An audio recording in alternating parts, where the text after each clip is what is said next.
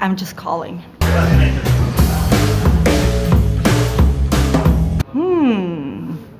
What's the craziest thing you did? You put me on the spot there. Crocs? I don't do Crocs. Ooh. Yesterday? you got it. Me too. A little bit.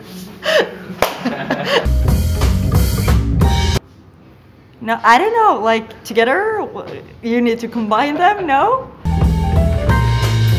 If I'm going to die tomorrow, I'm not going to eat. I'm gonna party and drink and be with my friends and my family.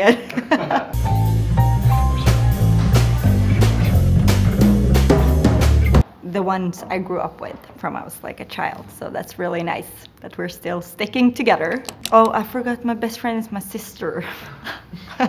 Those and my sister, of course. Yes, I love. Sorry. Do-do-do-do-do. No fault. Now we can dance.